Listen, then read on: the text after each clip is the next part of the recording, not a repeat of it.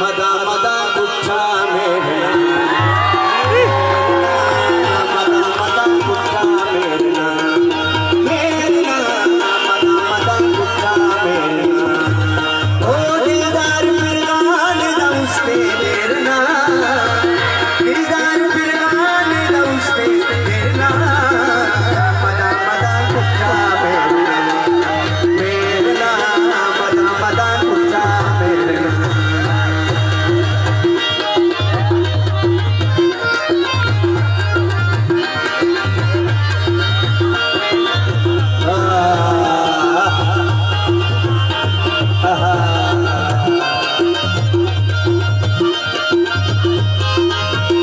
Anatwa, Anatwa.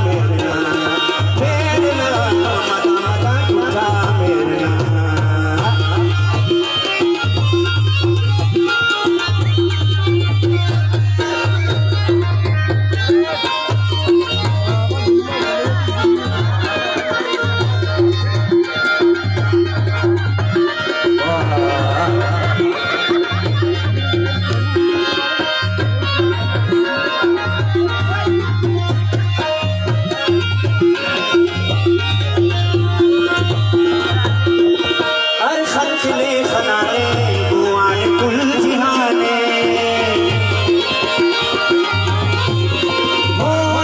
فلي فلاڻي